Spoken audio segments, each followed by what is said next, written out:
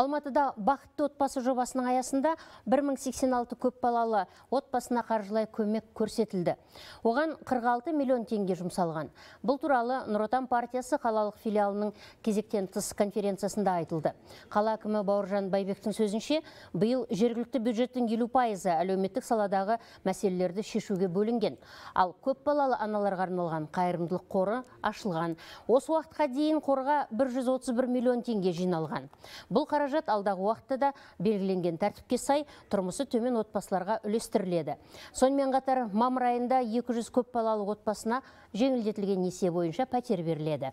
Бұдан бөлек алқалы жиында партияның 23 сәуір күні Нұрсұлтан қаласында өтетін кезектен тыс съезіне қатысатын делегаттар да анықталды.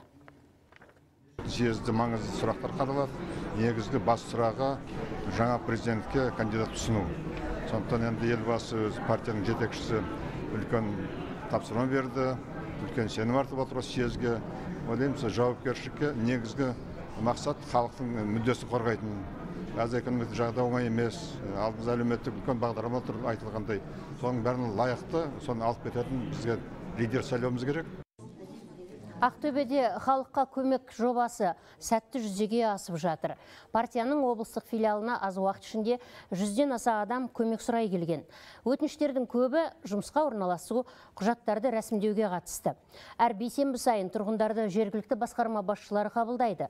Халыққа көмек жобасы елбасы тапсырмасы бойынша жүзеге асқанын айта кету керек елбасының берген тапсырмалардан кейін қазір бүкіл халықтық төрт жоба болса сол төрт жобаның біреуі халыққа көмек.